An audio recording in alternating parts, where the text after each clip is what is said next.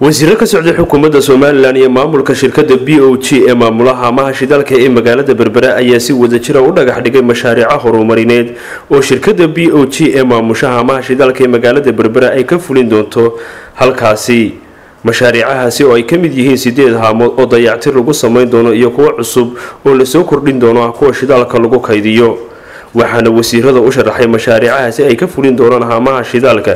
Gudoomiyaha shirkadahaasi ku bahoobay ee b o g cali yaasiin iyo maareeyaha haamaha shidaalka ee magaalada berbera maxamuud kahayr ismaaciil.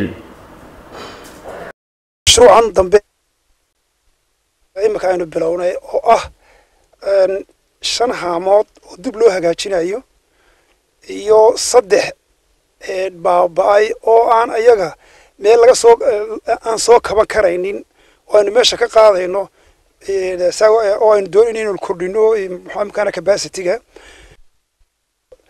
Soo birgareeyey shirkadda la yihahdo modran iyo shirkadda la yihahdo assalama iyo shirkadda la yihahdo tenicom technicom oo technicom middle east ayaa markaa ku guulaysatay marka mashruucanu sifil weerka iyo middle weerka wuxuu noqonayaa one million two hundred and fifty buu noqonayaa.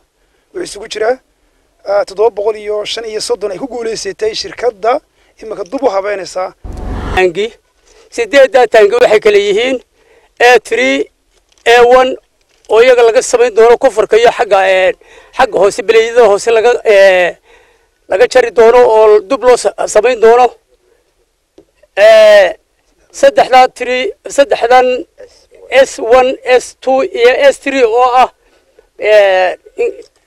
qaybtii ingiriisku sameeyey sixkii oo iyaguna dhammaantood dub looga shaqayn doono oo la hagaajin doono.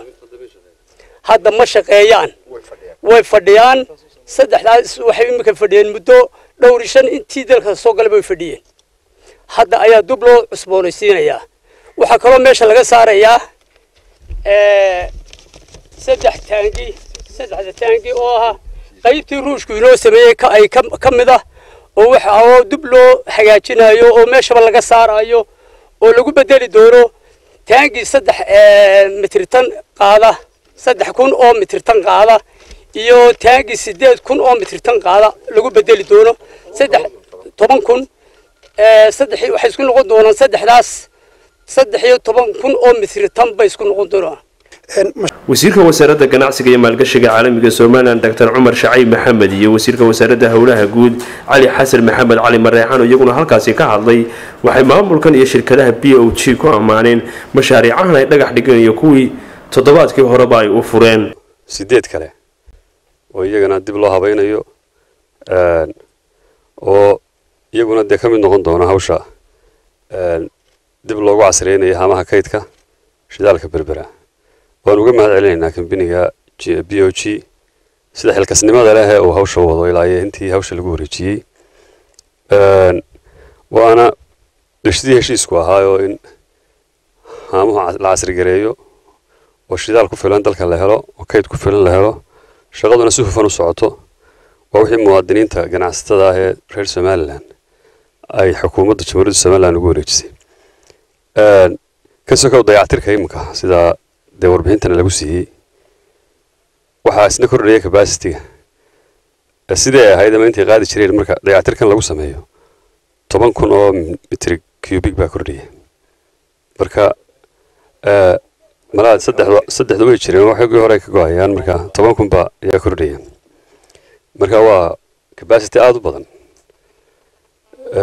Waxaan filayaa two thousand eighteenkana in qorshe kale jiro macnaha waxa investmentka qiimaha le xoogga runtii ee ay geliyeen ay mar walba la garab taagan yihiin.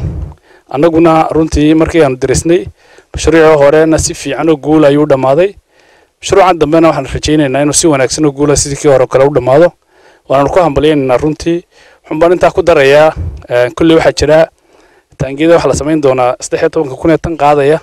Marka la geeyo si loo helo